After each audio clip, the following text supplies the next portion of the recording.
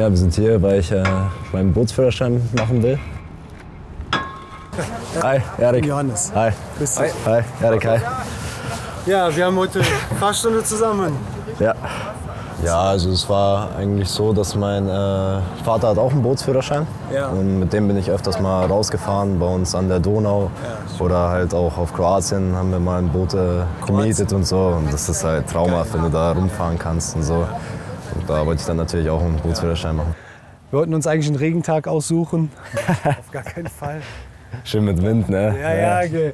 Aber da übt sich richtig gut, ne? Weil da hast du mal echt Wellengang, Wind, Strömung, drückt dich weg. Das ist ja wie beim Fußball, auf den Scheißplätzen lernst du das Ja. Fußball spielen. Ne? Okay, Erik, auf los geht's los, ja? Ich erkläre dir jetzt das Bötchen. Ich muss ja eigentlich erstmal wissen, wie die Schraube sich dreht, oder? Ja, das, das Geile ist ja, das brauchst du überhaupt nicht wissen. Nicht?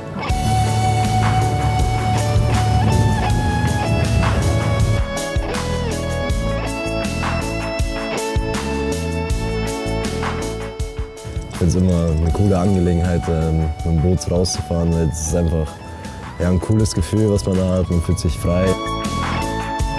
Okay, fahren wir mal los. Das lernst du alles gleich während der Fahrt. Eine Hand immer am Steuer. Wir ändern unseren Kurs, wir fahren mal wieder Richtung unseren Hafen, ja? So. Und dann nehmen wir mal ein bisschen Gas auf den Hafen, ja? Okay, fahr mal. Kommando übernehmen, Ver ja, Verantwortung übernehmen.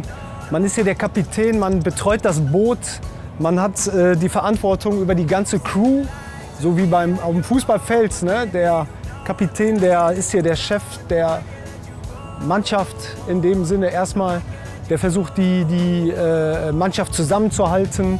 Der beste Kapitän ist nur so gut wie seine Crew, ne?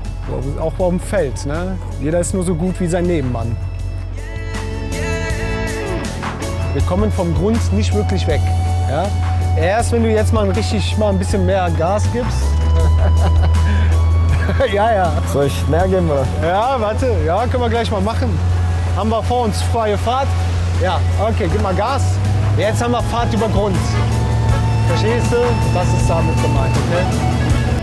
Kurs auf den Hafen liegt an. Okay, Kommandos kommen wieder von dir. Ja, klar zum Anlegen, Steuerbordseite, Leinenpfänder, Bootshaken klar machen. Ja, natürlich schafft er die Prüfung. Auch die Eigenschaften, die der Erik hier äh, gezeigt hat, die äh, bringen das einfach auch mit, dass er die Prüfung dann auch besteht. Da habe ich überhaupt gar keinen Zweifel. Ja, du hast einen großen Theorieanteil, wo du schon viel lernen musst, auch mit der Navigation, äh, mit den ganzen äh, Kursen, die man dann berechnen muss in der Theorie. Also das ist schon nicht so, also nicht ohne. Und äh, hier in der Praxis musst du halt auch dieses äh, Anlegen, Ablegen und äh, Mann über Bord Manöver musst du können. Und das sieht im ersten Moment sieht das äh, leicht aus, aber wenn man auf dem Boot sitzt, dann äh, ja, ist das schon nicht ohne. Oh. Ei, sorry. Alles gut. Aber dann muss ich ja mehr eigentlich den Rückwärtsgang immer geben, oder? Hast du gemerkt, ne? Ja, ja, nicht schlimm. Ja, Erik ist auch noch ein junger Spieler, das hat man auch gemerkt hier. Ne? Erstmal ein bisschen, ein bisschen zurückhaltend. Äh, Erstmal so ein bisschen, ich gucke mir das mal an erstmal. Aber ich denke, das ist aber auch dem geschuldet, dass er hier die erste Fahrstunde hatte. Da, äh, bei der nächsten Fahrstunde und so wie ich das jetzt auch mitkriege beim FC, wenn der einmal ins Rollen kommt, dann rollt er das Feld aber auch dann richtig auf. Wir müssen endlich wieder Spiele gewinnen. Steffen Baumgart vor dieser Partie und im Grunde ist dem ja nichts mehr hinzuzufügen.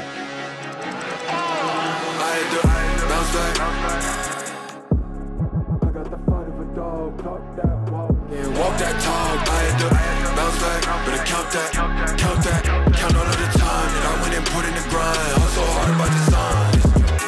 Vergangene Saison ein 4 zu 1 Sieg.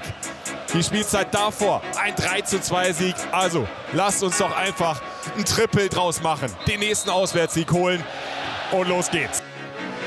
Krantz drops it in to Schindler's feet. kann ihn zurücklegen auf Keins. Flanke kommt an den zweiten Pfosten, direkt am Name Chabot und Tor und Tor, aber abseits. Abseits, Fahne ist oben. Der Ball im Netz. Aber was abseits oder nicht? Und wir sind jetzt locker schon in Minute 4 oder 5 und noch immer wartet der Hauptschiedsrichter hier auf dem Feld. Treffer zählt! Treffer zählt! Tor für den ersten FC Köln 1-0! Bounce back like 23 did with 45. I've been skirting the whip so they see the drive. I put 20,000 hours in, So in this sich grind. das also an. Ja, ganz schnell ausgeführt und Martin hat die Chance. Martin! Tor! Tor! Tor! Erik Martin! Eric Martel can celebrate, putting Köln two goals up. kursgerecht aufgestoppt. Ja, ich meine, es ist, glaube ich, der Traum von jedem Jungen, mal in der Bundesliga mal ein Tor zu schießen. Und ja, das habe ich schon gesagt, da gehen halt die Emotionen mit einem durch und es ist einfach ein richtig geiles Gefühl. Und dass Erik das Zeug zum Bundesligaspieler hat, das haben wir jetzt gesehen. Er muss es halt jedes Mal bestätigen. Äh, Und deswegen würde ich da gar nicht so viel reininterpretieren, welche Rolle er vielleicht spielt. Ich glaube, dafür ist er noch zu jung. Und ich würde da gar keinem irgendeine Rolle geben, bis auf dass er Gas geben soll und, und, und mit dem Herzen spielen soll. Und eine andere Rolle soll er erstmal gar nicht ausfüllen. Grundsätzlich ist es ein Spieler, der einfach auch wie die Faust aufs Auge zu unserer Spielidee passt, was ihm Spaß macht, griffig, unangenehm gegen den Ball zu sein, weil er da auch alles reinwirft, was er hat. Und weil er jetzt, finde ich, auch die letzten Wochen und Monate zusehends gelernt hat, dass er mutiger ist und einfach sich auch mit Ball mehr zutraut und mit Ball offensiver denkt, als es noch am Anfang der Fall war. Insofern finde ich beim Erik eine ganz ausgezeichnete Entwicklung, seit er jetzt hier ist. Und ich bin mir aber sicher, die wird noch weitergehen, weil ich kenne ihn ja schon sehr, sehr lange. Und er ist extrem ehrgeizig, er ist gleichzeitig extrem bodenständig und wird deshalb weitere Schritte nach vorne gehen. Blocked by Kites. Now that's gone in. They couldn't keep track of the ball. Sooner or later, somebody had to pull the trigger. Der FC nach den ersten 45 Minuten plus 5 Minuten Nachspielzeit mit 2 zu 1 vorne. Ja, bleibt trotzdem clever, ne? Rudelbildung, nicht. Ja, das ist so ein Quatsch. Ja. Bleibt ruhig. Der Sieger, was macht der, Alter? Ja, aber da hebe ich nicht. Ja, aber ich hebe ich mach eins, ich hebe ihn nur, ich hebe ihn nur hoch, Digga, und er macht den. Ja, aber das ja, aber die ganze Zeit. Was, warum fällt ihr denn so hin? Aber, aber ihr habt recht, ja, ich hab recht. Jungs! Aber wir haben ein anderes Thema, als das wer fällt oder nicht fällt. Wir brauchen keine gelben Karten wegen Ball wegschlagen und schon gar nicht wegen Rudelbildung, da gebe ich mal recht. Das wäre mir jetzt nicht so aufgefallen, dass ich jetzt mehr spreche in der Kabine. Ähm, ja, aber ich denke, umso mehr Spielzeit man äh, bekommt, umso mehr versucht man schon da ja, auch Führung zu übernehmen. Und äh, ja, da denke ich, dass äh, das dann einfach, das kommt einfach mit den äh, Spielen, dass man dann einfach versucht auch dann mehr zu reden und äh, der Mannschaft dann auch einfach mehr äh, zu helfen. Okay, Jungs.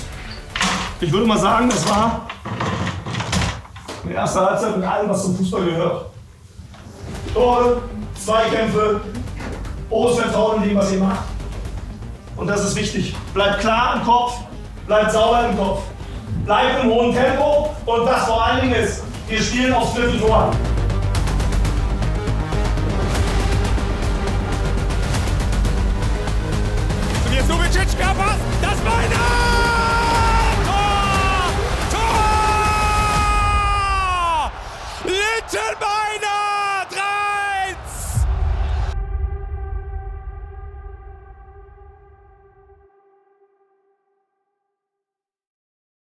Haben wir noch ein bisschen Spaß, ne?